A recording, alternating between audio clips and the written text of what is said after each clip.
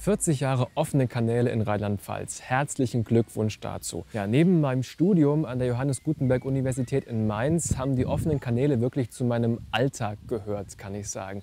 Ich durfte dort viele journalistische Erfahrungen machen. Ich durfte dort Sendungen moderieren, in Redaktionsteams mitarbeiten, ganz tolle praktische Erfahrungen im Studio, im Schnitt machen. Das war immer eine wirklich tolle Zeit mit den Kolleginnen und Kollegen dort vor Ort. Ich habe sehr viel lernen dürfen, sehr viel lachen dürfen und denke immer noch gern an diese Zeit dort zurück. Die offenen Kanäle haben mir, aber nicht nur mir, ganz tolle Möglichkeiten geboten, sich weiterzuentwickeln, journalistisch, handwerklich, im Schnitt, bei der Gestaltung von Beiträgen, in der Regie, beim Bau eines Studios.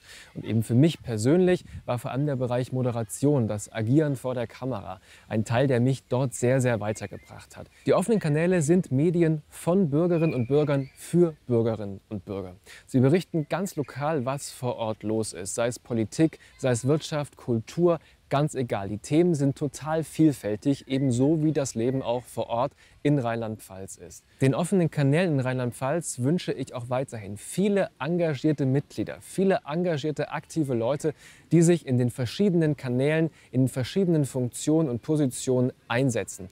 Dafür, dass dieser Bürgerfunk weiterhin so stark und so erfolgreich ist und sein kann, wie er das in den letzten 40 Jahren war allen Beteiligten der letzten 40 Jahre, von denen einige heute auch bestimmt dabei sind, nochmal einen ganz herzlichen Glückwunsch zu diesem tollen Jubiläum.